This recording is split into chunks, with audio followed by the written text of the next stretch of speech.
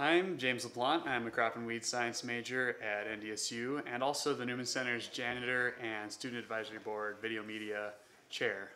Well, my uh, siblings had all gone to the Newman Center in previous years and they'd all been on Koinonia. My brother has been on team and they both were really inspired by this experience. So I I wanted to get a piece of the action, see what it was all about, and I was also looking at coming to NDSU this fall, so I figured it'd be a good chance for me to meet people and deepen my faith. And I'd grown up Catholic, very Catholic home, good parish, but th- what this retreat taught me is that there's definitely more to learn about Catholicism. Like you're never done. So I would say it's it solidified and built upon the foundation that my parents gave me growing up.